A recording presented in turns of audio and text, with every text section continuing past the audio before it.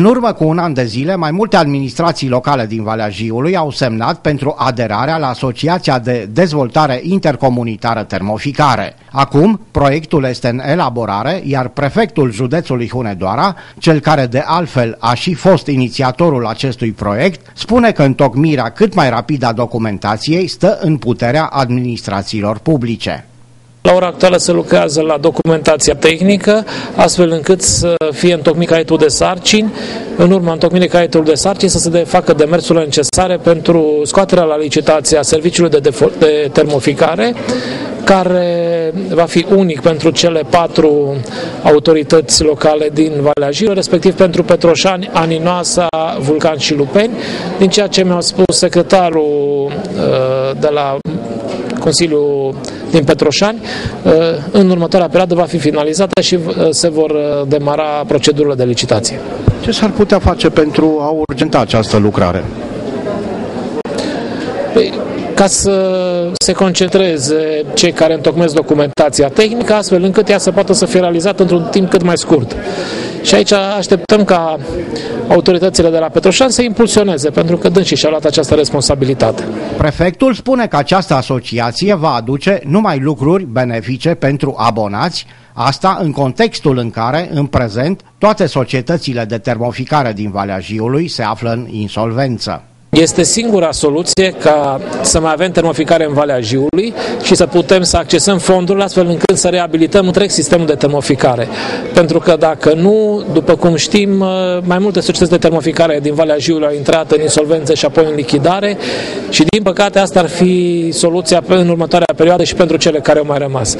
Agenția de Dezvoltare Intercomunitare, prin într-un sistem integrat, ar putea să beneficieze din partea unui furnizor de termoficare, posibil să fie complexul energetic Hunedoara, care are o forță financiară, să poată să furnizeze agentul termic, să poată să reabiliteze până când vom reuși să facem investițiile necesare, cel mai probabil printr-o printr finanțare externă.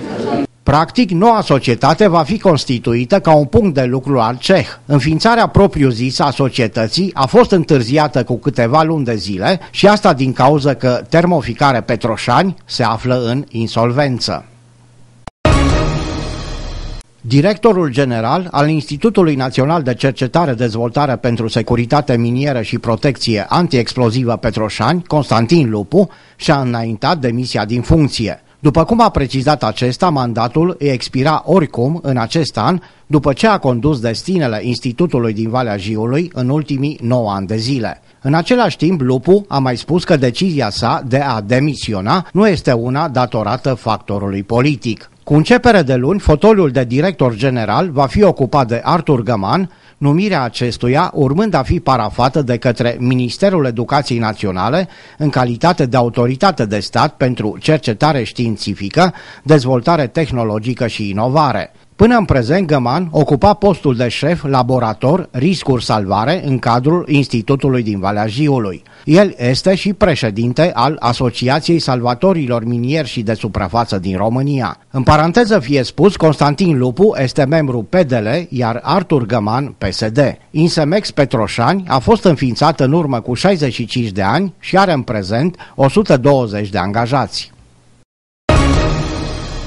Consilierii locali de la Petroșan s-au întrunit joi pentru a vota mai multe proiecte de hotărâre. Profitând de prezența tuturor, fostul consilier local Viorica Macavei a ținut să adreseze edililor și nu numai mai multe întrebări pe probleme administrative. Fostul consilier a fost nemulțumit de faptul că întrebările au fost adresate și înscris, însă nu a primit niciun răspuns.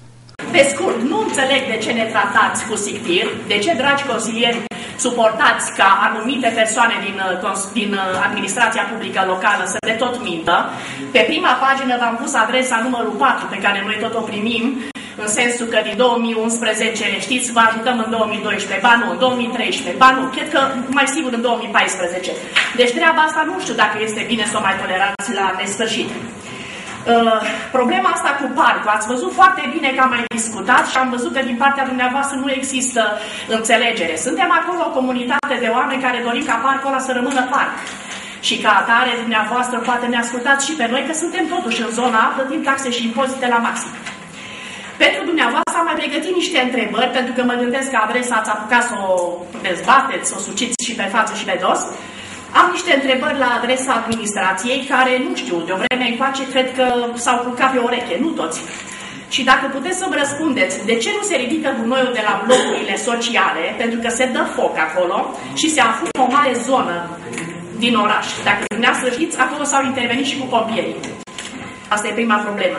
Problema numărul 2. Și de pe vremea când eram în Consiliul Local, se punea în discuție un ceas la pasarelă. Ce mama naibii reprezintă ceasul ăla, că doar nu vă scutură de, de buzunare pe toți și o părticică acolo, cum își permite Petrila la pasarelă, la barieră, să aibă un ceas? De ce nu ne-am putea permite și noi? Și mai vreau să vă întreb ceva. Uh, spațiul din spatele stației Normandia, care este o intrare în Petroșaniul ăsta, de ce nu se curăță domeniul acela public? Sau trebuie să pun eu un afiș acolo că este wc fără plată?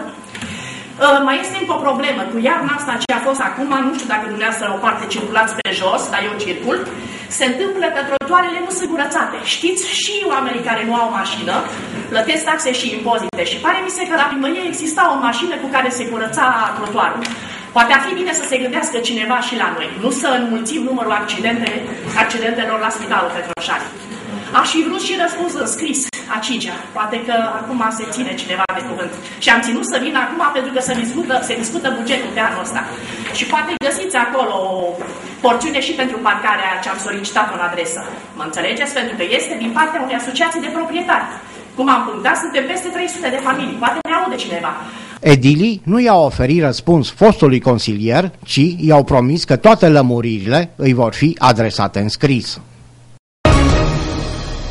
În acest an, pe lângă campaniile europene sau naționale, inspectorii de muncă din Valea Jiului vor efectua și acțiuni axate pe specificul activităților din zonă. Prima dintre acestea va demara în cursul lunii februarie, fiind vorba despre verificarea măsurilor de sănătate și securitate în muncă pentru prevenirea incendiilor și exploziilor în sectorul extractiv.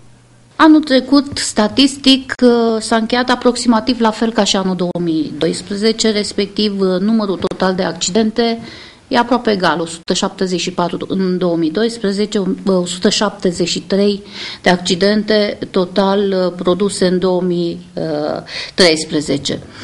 Avem înregistrate în zona noastră patru accidente mortale, tot patru accidente mortale au fost înregistrate și în 2012. Dar și un accident colectiv a fost înregistrat în 2012, un accident colectiv în 2013, îmbucurător că în ambii ani, și în 2012 și în 2013, accidentele colective au avut câte trei victime accidentați ușor. Deci doar faptul că au fost trei accidentați, dar accidentați cu incapacitate temporară de muncă. Deci îmbucurător, îmbucurător că nu au fost accidente colective grave. Uh, în anul trecut au crescut numărul de încadrări în invaliditate ci au venit uh, încadrări în invaliditate încă din anul 1980.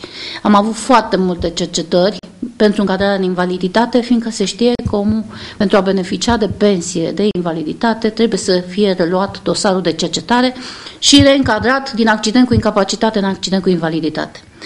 Omul, ă, atâta timp cât poate să lucreze și unitatea funcționează, rămâne în cadrul unității, refuză încadrarea în invaliditate, când se desfințează unitatea să nu mai poată lucra, ă, are nevoie de încadrare, merge la comisie și se încadrează în invaliditate. Deci am avut foarte multe cercetări, un număr de 17 dosare gestionate, vă spuneam 4 accidente mortale, 7 accidente cu invaliditate, un accident colectiv, 3 ă, decese care nu s-au încadrat ca și accidente, foarte multe accidente de circulație, care au trebuit să fie uh, cercetate, fiind victimele și în timpul uh, deplasării uh, sau în delegație, deci de la serviciu.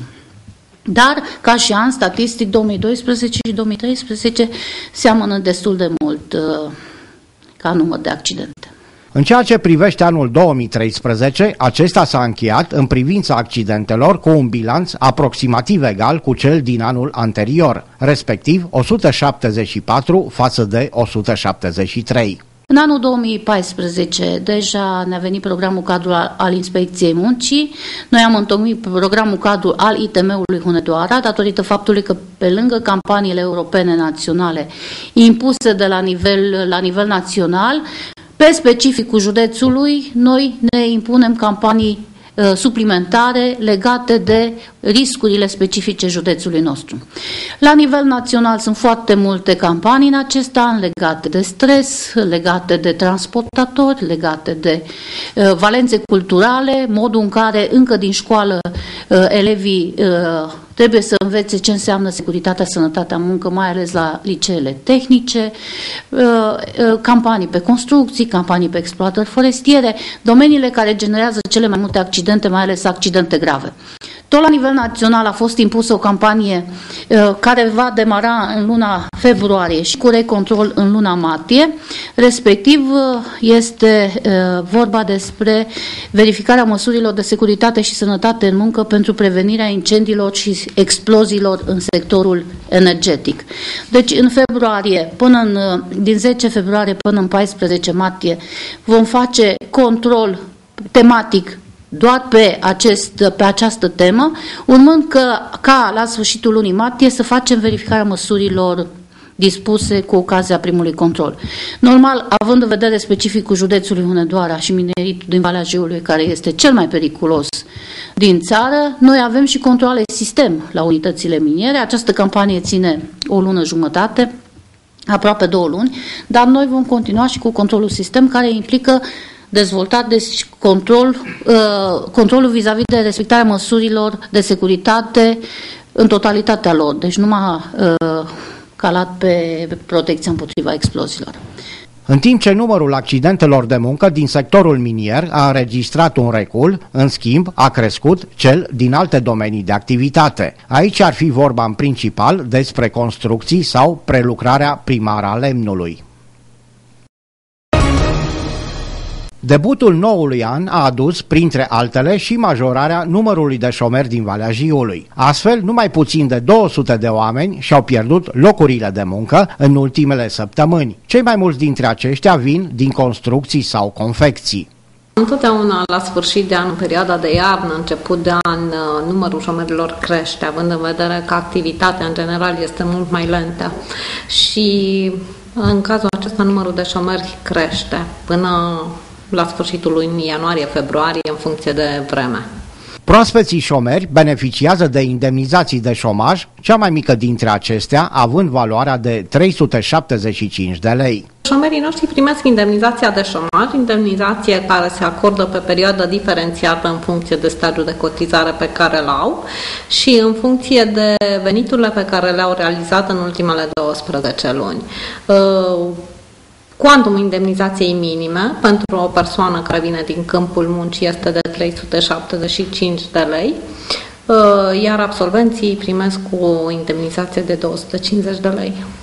Pentru noi șomeri, dar și pentru cei mai vechi, în Petroșani au demarat în luna ianuarie o serie de cursuri de recalificare. În uh, luna ianuarie noi am, organi- am uh, organizat selecție pentru șapte cursuri de formare profesională în uh, meseriile de lucrător comercial, spătar, manicurist, asfaltator, zidar, brutari, iar pentru luna februarie sunt, ne pregătim pentru alte șase cursuri de formare profesională în meseria de confecționer, de coafură, bucătari, inspector resurse umane, designer pagini web uh, și lucrător pentru drumuri și cărți ferate.